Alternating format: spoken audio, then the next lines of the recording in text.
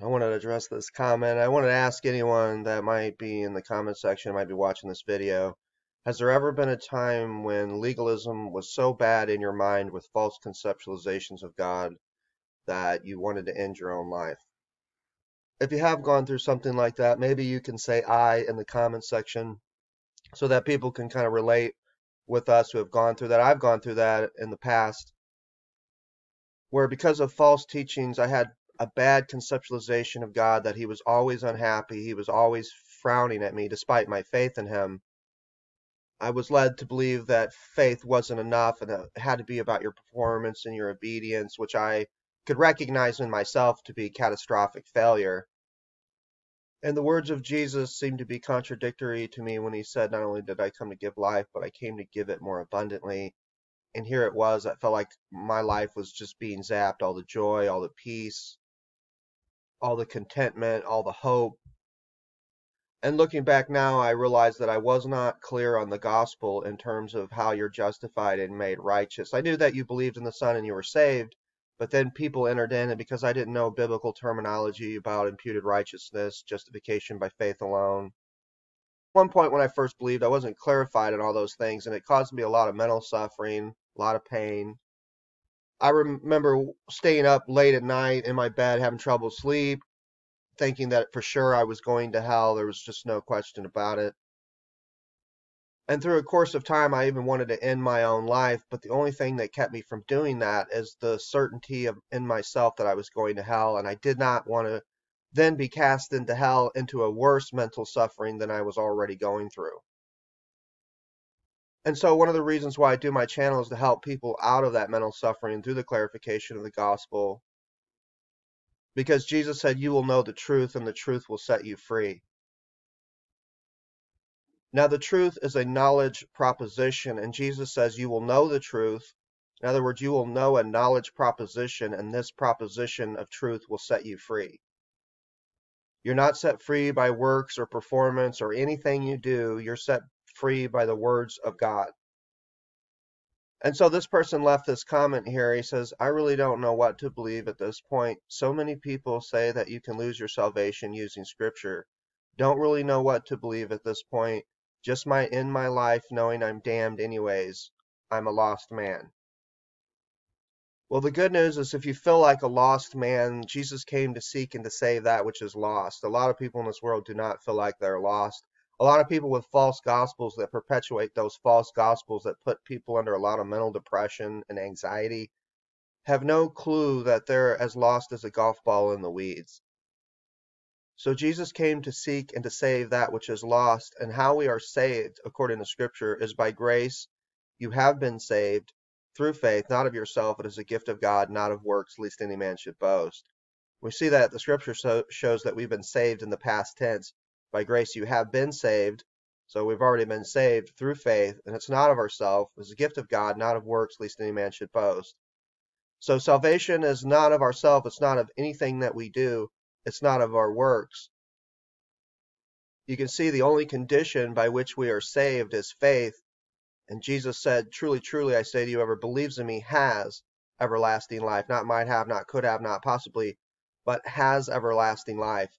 Everlasting life is a life that never stops, it never ceases, it never ends. Notice Jesus says we get this everlasting life when we believe. Truly, truly, I say to you, whoever believes in me has.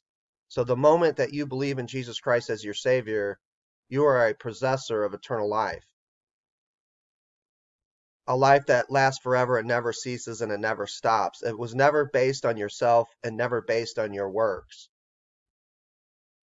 Nicholas, you say in this comment, so many people say that you can lose your salvation using scripture. You'll have to post some of those scriptures in the comment thread so I can see what they are so I can deal with them. There's no scripture in the Bible that teaches a loss of salvation. Now, people will twist and contort the scripture to their own destruction. That is, false teachers who do not believe in Jesus Christ and the promises of eternal life will then take their unbelief and their doubt and then come to scripture and twist those scriptures to try to make people believe what they believe and that is that you can somehow lose your salvation that it's not a free gift See, the scripture warns about destructive doctrines, and this is how these doctrines are destructive. They make people lose their peace, their joy, their happiness. They make them not even want to live life. And this man right here might be having some other troubles and things going on in his life besides this issue with his faith. A lot of us have all kinds of side issues and troubles going on in our life. But when people have trouble in this world and then you rob them of the peace that they have with God, they no longer want to live. I remember being in that state. Jesus tells us that in me you'll have peace, in the world you'll have trouble, but take heart, I've overcome the world. See, Jesus is telling us that we can have peace despite the worldly troubling circumstances.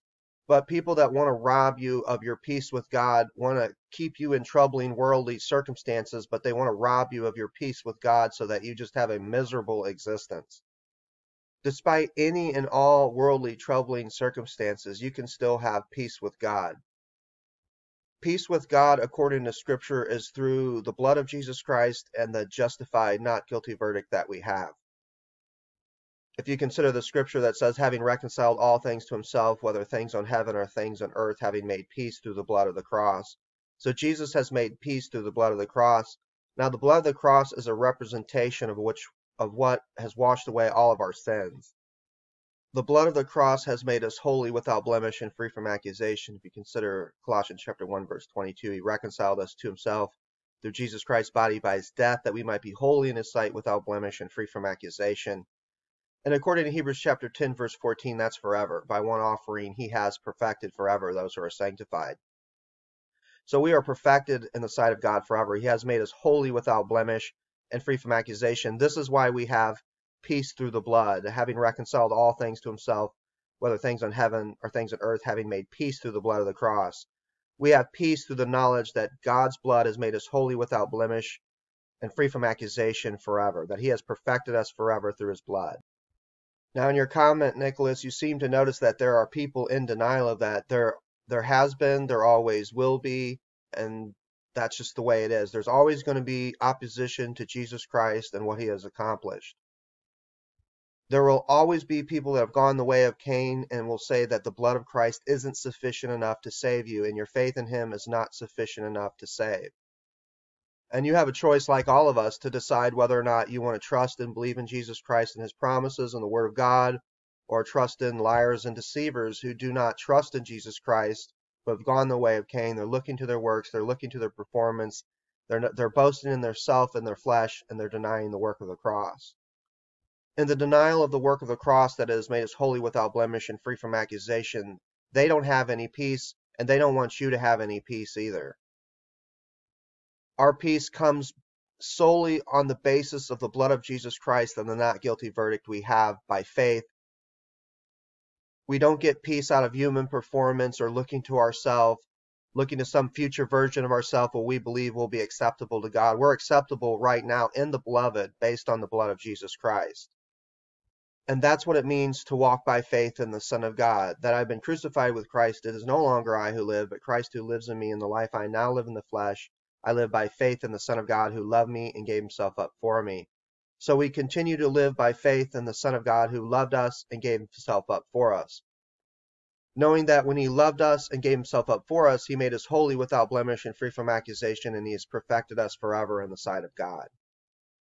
So the peace that we have with God comes on the basis of what he has done for us. He has crushed for our iniquities, he was wounded for our transgressions. The punishment that brought us peace was upon him, and by his stripes we are healed. So it says, By his stripes we are healed. We are holy without blemish and free from accusation. Due to the work of the cross, we have been perfected forever. That's what it means to be healed. The punishment that brought us peace was upon him, and by his stripes we are healed. So the punishment that brought us peace, our peace was bought at a great price. Our peace was bought at the agonizing, excruciating death of Jesus Christ. There's nothing more valuable in all the universe than the life, the death, and the blood of Jesus Christ that was given to us. And this is what saved us. And so there's no other greater price than you can find in the universe that can buy our salvation other than what has already paid for it, which is the blood of Christ. In other words, there's nothing of more greater value than the blood of Christ that purchased our redemption. And if that didn't purchase it, nothing else will. Not any amount of works or performance. And to look to those things is ultimately an insulting of the Spirit of grace, which is a lot what these false teachers do. They deny the blood and its sufficiency, and they insult the Spirit of grace. If the blood of Christ didn't purchase our peace and our salvation with God, nothing else will because everything else in the universe is of lesser value. And so, according to Scripture, we only have peace based on one thing, and that is the work of Jesus Christ and the shedding of blood on his cross and the justified, not guilty verdict that we have through faith in him. The punishment that brought us peace was upon him, and by his stripes we are healed. See, the punishment that brought us peace, by his stripes we are healed. We are healed from our sins before God. We are holy without blemish and free from accusation. And now we have peace because of that not guilty status. Consider the scripture in Romans chapter 5. It says, Therefore, having been justified by faith, we have peace toward God through the Lord Jesus Christ. Therefore, having been justified by faith, which is a non guilty verdict, we have peace toward God through the Lord Jesus Christ. See, Nicholas, that's one of the things you've been robbed from. That's why I'm addressing it. You've been robbed from peace. And one of the ways that you've been robbed from it is you don't believe that you're justified by faith. You don't believe that you have a non guilty verdict by your faith in Jesus Christ. People have come in and made you believe that you can lose your salvation. It was dependent upon your supposed personal goodness, your works, things that you have to do of yourself and they are robbing you from your conceptualized not guilty verdict that we have by faith in Jesus Christ. Therefore, having been justified by faith, not guilty verdict, we have peace toward God through the Lord Jesus Christ. And Jesus said about that peace, My peace I give to you, my peace I leave with you. Not as the world gives do I give to you. Let not your hearts be troubled, neither let them be afraid. Friend, I can tell that you're troubled and that you're afraid. You want to end your own life here. Please don't do that because you have a life more abundant that Jesus promises. Not only did I come to give life, but I came to give it more abundantly. He came to give you a life by which you are filled with peace through the knowledge of the not guilty verdict that we have on the basis of the blood of Jesus Christ. And Jesus is telling us about that peace that it's not as the world gives does he give to us. The world gives temporal things, Jesus gives eternal things. The gifts and callings of God are irrevocable. So when Jesus gives you his peace, it's an eternal thing. My peace I give to you, my peace I leave with you. Not as the world gives do I give to you. Let not your hearts be troubled, neither let them be afraid. God doesn't want you to be troubled. He doesn't want you to be afraid. He wants you to have a peace, not as the world gives does he give to you. Now, I've showed you from Scripture what this peace is based on the blood of Christ, the not guilty verdict, knowing that we're holy without blemish and free from accusation and that we're perfect in the sight of God forever. This will bring us a lot of peace due to the promises of God who cannot lie. And then the scripture says that it's up to us to let the peace of God rule in our hearts. Consider Colossians chapter 3, it says, Let the peace of God rule in your hearts by which you were called to peace into one body and be thankful. See, because you have been robbed of the peace that you have with God by false teachings, you're not very thankful. You want to die. You don't want to live anymore. I've been there. I know what it's like. When you don't feel like you have any peace with God, it, you can't be thankful. You can't just drum it up and fake it. You got to know a real solid reason why you can have peace. And so God gives us the most solid reason why we could have peace in the universe, and that's based on the blood. There's no other greater thing than we could ever look to than the blood of Christ by which we can know that we have peace, because there's nothing of any greater value than his blood. And so the knowledge that the punishment that brought us peace was upon him, and by his stripes we are healed, the knowledge that we are holy without blemish and free from accusation, we've been healed from our sin. The Word of God admonishes us to let the peace of God rule in our hearts by which we were called to peace into one body and be thankful. See, where we were all collectively and equally called to the same peace. Let the peace of God rule in your hearts by which you were called to peace into one body and be thankful. So we were collectively and equally called to the same peace. Notice it says, let the peace of God rule in your hearts.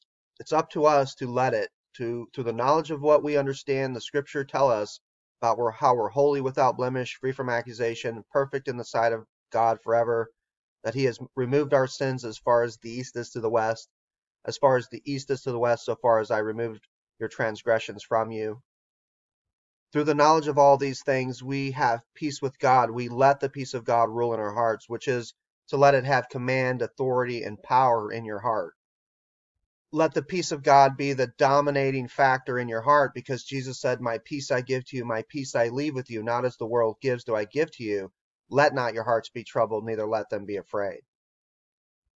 So Jesus is saying that he doesn't want you to be troubled. He doesn't want you to be afraid. He wants you to be in a constant state of peace. Not as the world gives does he give to you. The world can provide peace in different avenues, but they're always temporal. They don't last forever.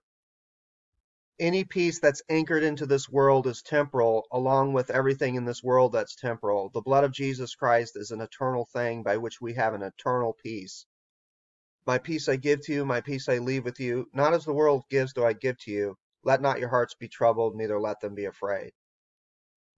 So, one of the ways I have found, according to Scripture, to let the peace of God rule in my heart is that when it comes to salvation, I remove myself out of the equation. It's not about me. I'm just the sinner that needs to be saved, and I need a Savior. And so I look to Jesus, and by grace I have been saved through faith. It's not of myself. It's a gift of God, not of works, lest any man should boast. If it's not of my works, it's not of myself. I'm out of the equation. I'm just looking to the Savior to save me. And that's, according to the scripture, how you have peace with God. By taking your mind off yourself and focusing on Jesus and what he's accomplished and who he is, he will keep you at perfect peace whose mind is stayed on him because you trust in him. He will keep you at perfect peace if you keep your mind on Him and you trust in Him, what His blood has accomplished, His promises. Of course, there's a lot of other voices in the world saying you can lose your salvation, you don't have a justified verdict, you don't have peace with God. There's a lot of liars and deceivers in this world, but God does not lie. And the hope of eternal life, which God, who cannot lie, promised before time began. So God gave promises of eternal life those promises are activated simply by believing in Jesus. He that believes in me has eternal life. So, based on the promises of God, when we have met the condition to believe on the Son, we have eternal life because God cannot lie. And so, Nicholas, there may be some things that you're confused of about Scripture, and so you maybe haven't got everything understood completely, and so it's causing some doubt. The one thing that you should understand that there is something wrong happening here in the way that either you're believing these other people saying certain things or maybe the way that you've seen scripture so that you're not having peace because Jesus said that he gives us a life more abundant. He gives us peace, not as the world gives, does he give to us. He doesn't want our hearts to be troubled. He doesn't want us to be afraid. The Bible says that God hasn't given us a spirit of fear, but of love, power, and a sound mind. So if those things are happening to you, you feel like you're losing your peace, you don't have a sound mind, you have a spirit of fear. It's because there are misunderstandings to the Word of God that are causing that, whether it's from your own study or maybe it's just people, like you said in this comment, just a lot of other voices saying that you can lose your salvation. You need to mark and avoid those people. You need to study the Scripture, look to people who are going to make you edified, grow in the grace and knowledge of the Lord Jesus Christ, and, and seemingly provide those things that He promised peace, abundant life, a lack of fear because he doesn't want you to be troubled. He doesn't want you to be afraid. He wants you to know that he loves you. There's no fear in love, but perfect love casts out fear because fear has to do with punishment, and the one who fears has not been made perfect in love. The one who's fearing punishment has not been made perfect in love. So ask yourself that Am I fearing punishment? The Bible's very clear. If you're fearing punishment, it's not been made, you're not been made perfect in the knowledge of God's love. And that happens as a result of false teachings, people saying that God's love is on a time limit. God's love only goes so far. If you're caught up in a particular sin, God doesn't love you, and so he's going to punish you. But there's no fear in love, but perfect love casts out fear, because fear has to do with punishment, and the one who fears has not been made perfect in love. The one who fears has not been made perfect in the knowledge of God's love, that God demonstrates his own love towards us that while we were yet sinners, Christ died for us. And then the dying, he made us holy without blemish and free from accusation. Colossians chapter 1, verse 22.